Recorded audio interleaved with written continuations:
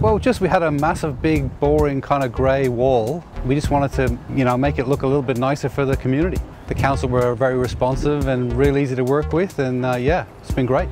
The process for designing the mural was uh, firstly doing research based on the history of the place, referencing icons of, of the area and historical events. Photo collage to begin with, combine with some sketching and combine that and then start to refine it, add colour at the end. The thing about his proposal was it was, it's, it's sort of a bit fun. It's got a dreamlike kind of quality, doesn't it? I think it's really positive, his stuff. Straight away, as soon as I saw it, I liked it. Just sort of thinking of movement and sort of conveying movement, having that flowing line through the whole piece was important. And then also, I guess, the way that memories are a bit fragmented or hazy or abstract collaged together. I sort of wanted that sort of effect as well. So you've got the, the clock tower, which is a local Ringwood icon, which is also a war, war memorial.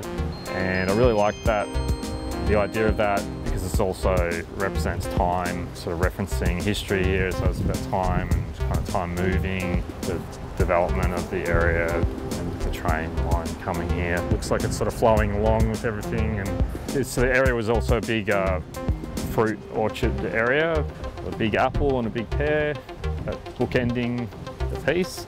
Then uh, some native flora and fauna in the form of the yellow cowslip flowers and the uh, blue native violets.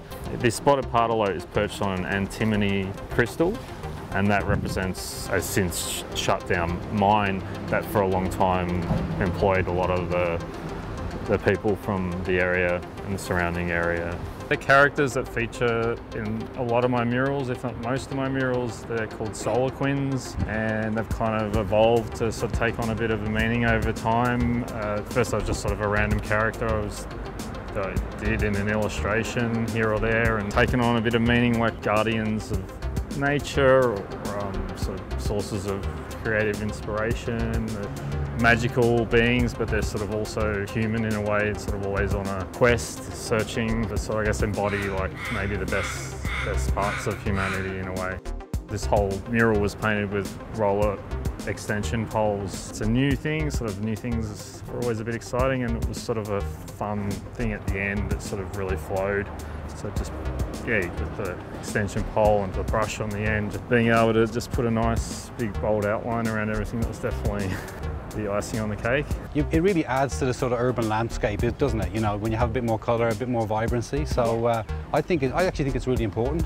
I think it gives character to the to the streetscape. You do get so many people walking past saying, oh, it's really changed the space and appreciating that it's no longer just a blank kind of dreary wall and it's not quite so cold and brutal looking, it's colourful I guess. Yeah, my hope is that brightens people's day I guess a bit and perhaps inspires other people creatively, whether that's murals or you know, it's just something, something creative.